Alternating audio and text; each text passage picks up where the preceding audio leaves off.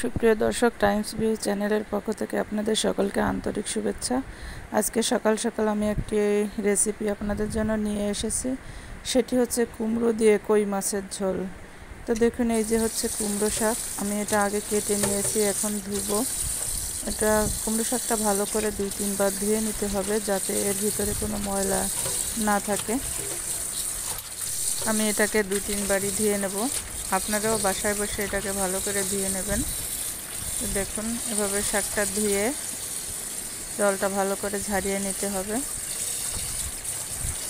এবং আমি আবারও বলছি, শাকে প্রচুর ময়লা থাকে, তাই অনেকবারই শাকটাকে মিনিমাম তিনবার ধুবেন। দু থেকে তিনবার তো অবশ্যই ধুতে হবে, তা না হলে শাকের ময়লা যাবে না। তো আমি আজকে ওই দেখুন কই মাছ, এই কই মাছ দিয়ে কুমড়ো শাকের তরকারি বা ঝোল এটা রান্না করব। এটা কই মাছ, আমি ফ্রিজে ছিল কই মাছটা, তাই এটা বের করে রেখেছিলাম। এখন এটা আবার একটু ধুয়ে নিব। কই মাছটাও ধোয়া শেষ হয়ে গেছে। এবার আমি হচ্ছে কেটে রাখা যে আলু, আমি আগে থেকে সবগুলো কেটেছি। এটা খোসাসহ কেটেছি, কারণ খোসাসহ এটা একটা অন্য ধরনের রেসিপি হবে এবং যেটা খেতেও ভালো লাগবে। আর আমরা অনেকেই গ্রামে এরকম খোসাসহ আলু খেয়ে থাকি। আবার শহরে দেখা যায় খোসাটাকে ছাড়িয়ে আলুটাকে দেওয়া হয়। শুধু গ্রাম শহর বলেই নয়, অনেকে এভাবেও করে, আবার খোসা ছাড়িয়ে করে। তো আমি একটু খোসাসহ আলুটা নিয়েছি এবং সাথে বেগুন ভাজবো। তাই বেগুনটাও একবারে ধুয়ে নিলাম। এবং আজ এই রান্নার ভিতরে বেগুন ভাজিটাও আমি আপনাদের শেয়ার করব। তো আমি একবারে সব কিছু ধুয়ে নেব। আমি এখন পেঁয়াজ আর রসুন কেটে রেখেছিলাম, সেটাকেও ধুয়ে নেব। এবং এগুলো ধোয়ার পরে আমি রান্নাটাকে বসিয়ে নেব।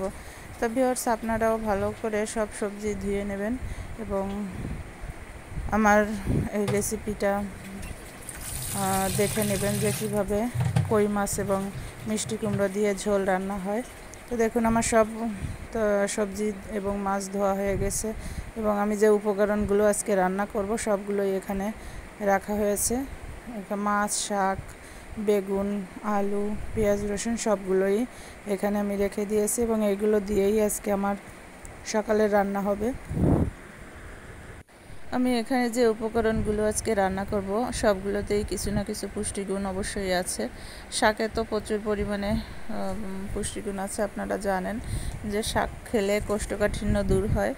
বিভিন্ন প্রকার শাকে তো আমি এখন মাছটাকে, হলুদ লবণ মাখিয়ে এটাকে ভেজে নিব। আমি লবণ দিয়ে দিলাম, এবার পরিমাণ মতো হলুদ দিব। আপনারাও এটা হলুদ লবণ মাখিয়ে প্রথমে মাছটা ভেজে নেবেন। আমি ওদিকে কড়াই বসিয়ে দিয়েছি এবং কড়াই গরম হলে আমি তেলটা ঢেলে নেব। আর এদিকে তাই মাছটা কষালাম এবং এখন আমি তেলটা ঢেলে দেব। পরিমাণ মতো আপনারাও তেল দিয়ে দেবেন কড়াইতে এবং কড়াইয়ের তেলটা গরম হলেই মাছটা সারবেন, তার আগে কিন্তু সারবেন না কারণ হচ্ছে অনেক সময় তেল গরম না হলে মাছ লেগে যেতে পারে। সেক্ষেত্রে আমরা একটু ওয়েট করব মাছটা সারার জন্য কারণ তেলটা গরম হতে হবে। তো আমি একটু আঁচটা একটু বাড়িয়ে দিলাম।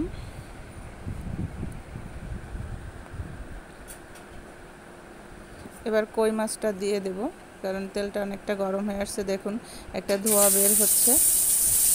তো আপনারাও আগে দেখে নেবেন যে তেল গরম হলে কিন্তু একটা ধোয়া বের হয়। তো আমি মাছটাকে এভাবে সবগুলো মাছ এক এক করে দিয়ে দেব এবং মাছটাকে ফ্রাই করে নেব আগে।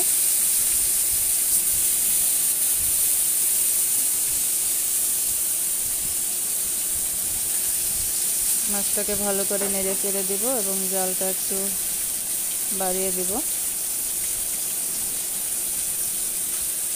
কই মাছ সচরাচর সবখানেই পাওয়া যায়, এটা চাষের কই, দেশি কই না। তো সেক্ষেত্রে আপনারাও বাজারে সহজে কই মাছ পেয়ে যাবেন। তো আমি এদিকে আবার বেগুনটাকে একটু হলুদ মরিচ, হলুদ লবণ মাখিয়ে নিছি কারণ আমি মাছের তেলে বেগুন ভেজে নেব, যার কারণে আমি এটা মাখিয়ে নিলাম। এবং মাছটা দেখুন, আমার এক পিট হয়ে আসছে। তো মাছটা এইভাবে করে ভেজে নেবেন। আমি আগেই বলেছি যে তেলটা গরম হলে দেখুন মাছ কিন্তু ভাঙে না এবং মাছটা সুন্দর থাকে। তো দেখুন।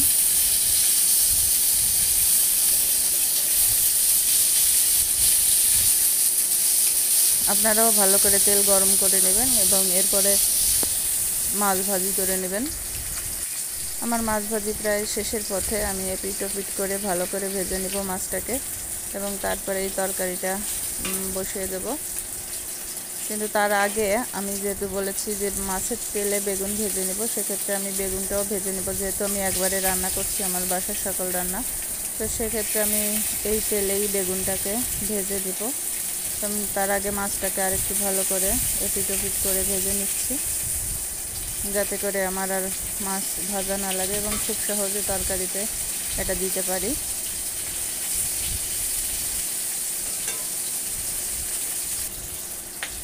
মাছ দেখুন প্রায় ভাজা শেষ। আমি এটাকে এখন উঠিয়ে নেব।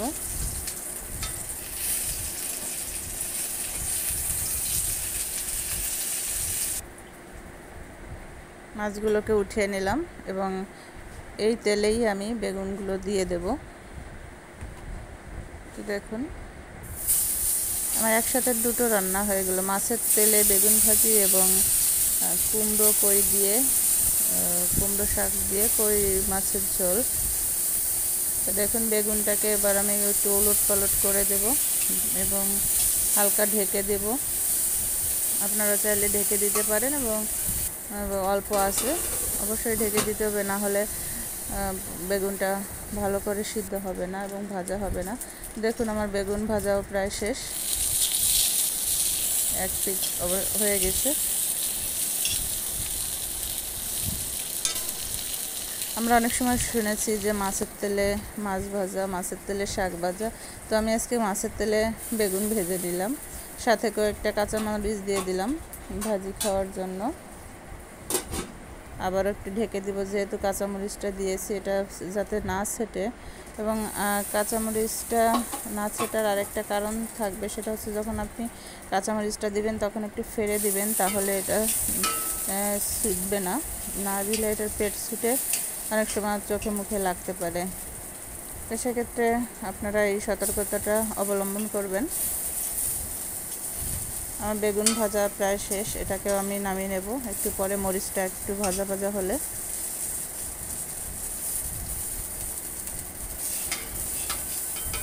আমি এখন বেগুনটাকে নামিয়ে নিচ্ছি। এবং এই একই কড়াইয়ে আমি শাকটা রান্না করে ফেলব। যেহেতু আমার আর কড়াই আর ধোয়া, নতুন করে ধোয়া লাগবে না, যেহেতু সবই তো ভাজি, তেল এবং করেছি, এই জন্য আমি আর নতুন করে কড়াইটাকে ধুবো না। আমি এইভাবেই তরকারিটাও এর ভিতরে রান্না করে ফেলব।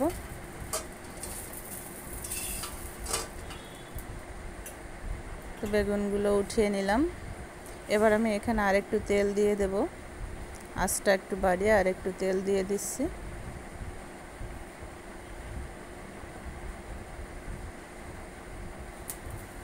তেলটা গরম হলে এর ভিতরে আপনারা রাঁধুনি দিবেন। রাঁধুনিকে আবার অনেকে চন্দনা বলে, কারণ শাকে কখনো জিরা না দেয়াই ভালো। শাকে সবসময় রাঁধুনি দেয়াই ভালো। আর বিশেষ করে লাউয়ে কিন্তু রাঁধুনি ফোড়ন দেয়।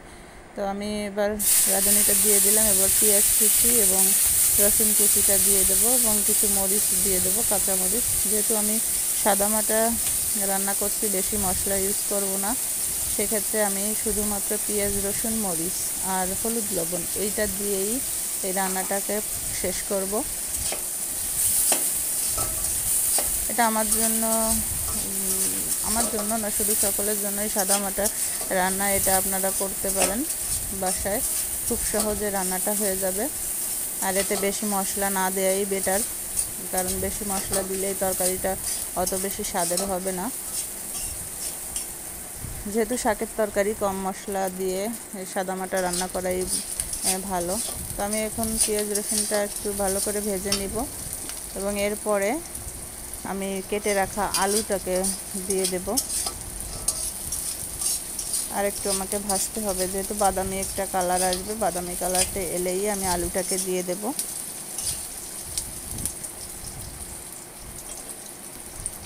এবার আমি আলুটাকে দিয়ে দেবো এর ভিতরে। খোসা সহ আলু, দেখুন। আপনারা খোসা ছাড়িয়েও দিতে পারেন, তবে আমি আজকে খোসা সহ দিচ্ছি কারণ আমার মন ইচ্ছা করতে যে খোসা সহ দিই। আর বিশেষ করে শাকে খোসা সহ আলুটা দিলে এর টেস্টটা একটু অন্যরকম লাগে। আমার তো বেশ ভালোই লাগে হয়তো বা আপনাদের কাছেও ভালো লাগবে। আপনারা চাইলে একবার এভাবে রান্না করে দেখতে পারেন। এবার আমি এতে একটু লবণ ও হলুদ দিয়ে দেব। দেখুন, পরিমাণ মতো লবণ দিয়ে দিলাম। আপনারাও পরিমাণ মতো লবণটা দিয়ে দেবেন।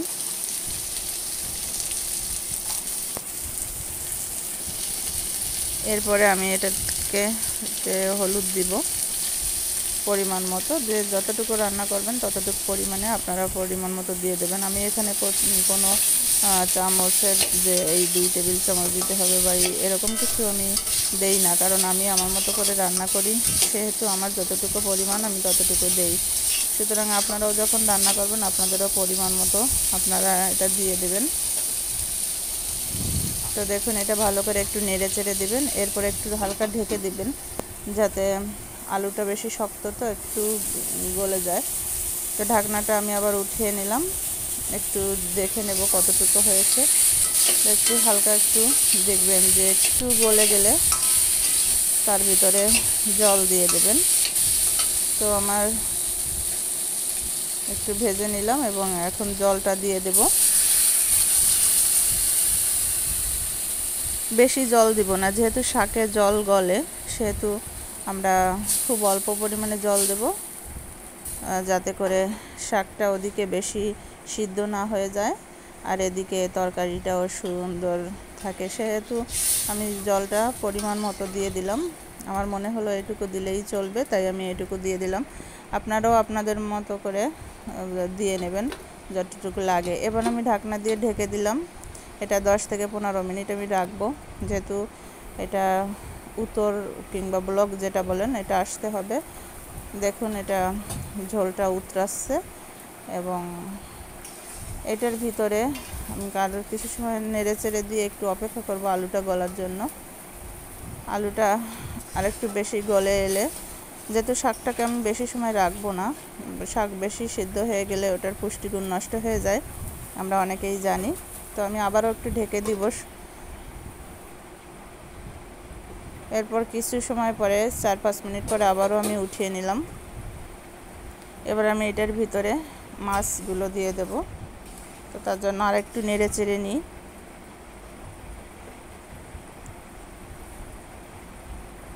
এবার আমি ভেজে রাখা মাছের টুকরোগুলো দিয়ে দেব। আপনারাও চাইলে আপনারা এখনও দিতে পারেন মাছটা বা শাকটা দেওয়ার পরেও দিতে পারেন। আমি একটু আগেই দিলাম। এটা দিয়ে আবার কিছু সময় একটু নেড়ে চেড়ে দিব। আলুটা বেশ একটা গলে আসছে। এবার শাকটা দেওয়ার মতো হয়েছে। তো আমি এবার এক এক করে শাকটা দিয়ে দেব।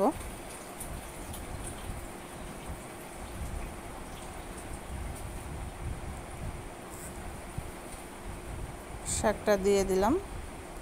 কচি কুমড়োর ডাগা এটা। এটা বড় বড় ডাগা ছিল না। ডাগাগুলো খুব ছোট ছোট ছিল।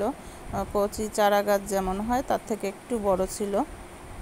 তো আমি সেটাকেই কেটে নিয়েছি এবং এটাই এখন ভালো করে ধুয়ে আমি এটাকে দিচ্ছি।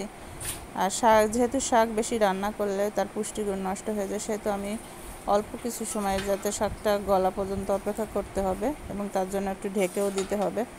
আমি ভালো করে নাড়াচাড়া দিয়ে এটা মিক্সিং করে আমি এটাকে ঢেকে দেব।